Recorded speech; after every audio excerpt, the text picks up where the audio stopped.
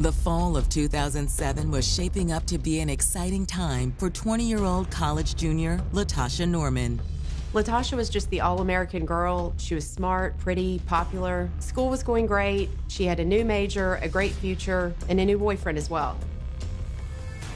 But on the afternoon of November 13th, the pretty accounting major with a big smile vanished from the campus of Jackson State University without a trace. Latasha's friend Brittany reported that she had seen Latasha walk into class that morning, and that was the last time anyone had seen or talked to her. Latasha's boyfriend Marquise Johnson finds Latasha's car on campus, but there is no sign of Latasha. They noticed that her car wasn't moved. It was very odd that her car was still there. On Wednesday, November 14th, Jackson City Police join the investigation.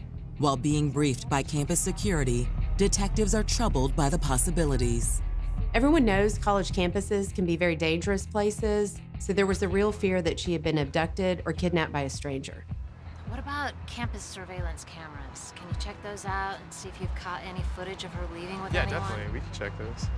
While local authorities ramp up their search efforts, word of Latasha's disappearance spreads across campus. I can remember calling her phone over and over and over again and not getting an answer. And that's when I knew it was true that, you know, she was actually really missing.